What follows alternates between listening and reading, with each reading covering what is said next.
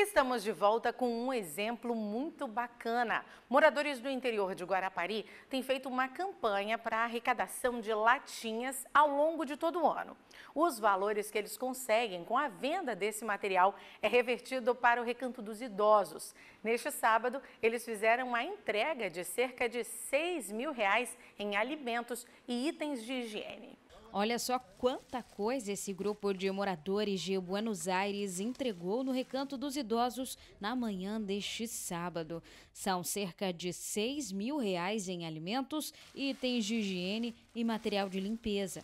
Resultado de uma campanha muito bacana que envolve toda a região de montanhas de Buenos Aires. O idealizador da ação é o seu Lino, que, com a ajuda da comunidade, conseguiu juntar 374 quilos de latinhas que foram vendidas e, junto de outras doações em dinheiro, eles conseguiram fazer a alegria dos idosos e das irmãs que tomam conta da entidade.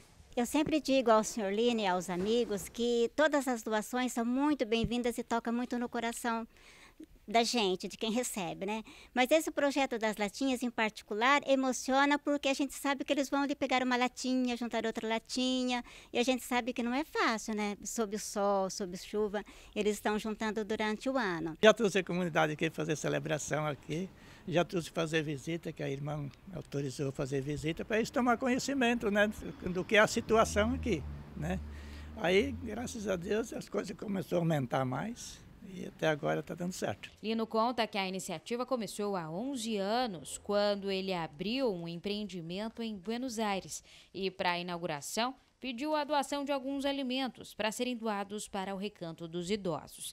Depois disso, ele não parou mais. Quando a gente está de pé, com saúde, a gente vai continuar. Além do seu Lino, o José e o Nilson também fizeram parte dessa campanha do bem, mostrando que a união de uma comunidade pode fazer toda a diferença na sociedade. Fica aí o meu agradecimento a todos que se movimentam na comunidade, aqueles que doam com mercadoria, com dinheiro também, né? Isso aí tudo contribui para que isso aconteça todo ano, sabe?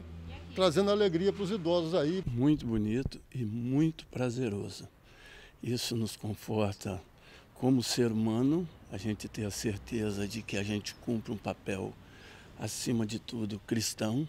Né? A gente começou essa ideia em prol do, do asilo, voltado mais pelo lado espiritual e aconteceu de crescer, graças a Deus. E vocês viram aí que eles conseguiram entregar as doações com que eles juntaram de latinha no ano passado e as arrecadações desse material já continuam. E se você também quiser fazer parte aí desse projeto, é só entrar em contato com o seu Lino para ajudar. Agora mesmo, já, quando eu em casa, já vou juntando as latinhas, já que já me ofereceram lá para eu pegar.